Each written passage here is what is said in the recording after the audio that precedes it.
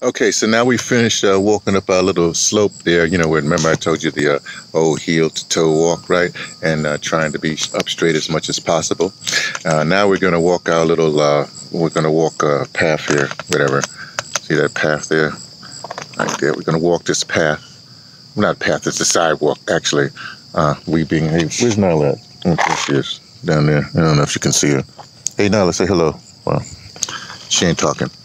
Um, so we walk that, but we'll also uh, continue the um, the military walk, if you will. You know, uh, uh, you know, stomach in, chest out, and try to walk up erect as much as possible at a regular walk. It's not a no whatever, not a regular walk.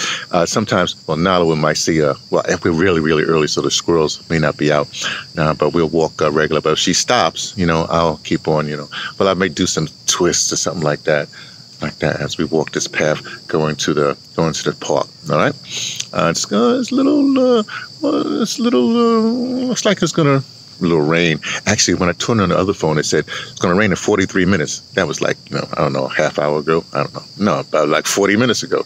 So who knows? But I have a, I do have a backpack. I have a little backpack there, and the backpack does have a, a poncho in it. Hey man, you gotta be dedicated, not dedicated. You gotta be consistent. That's the whole point.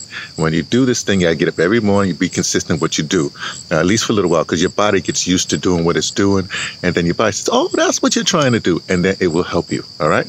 So you can help it, and it will help you.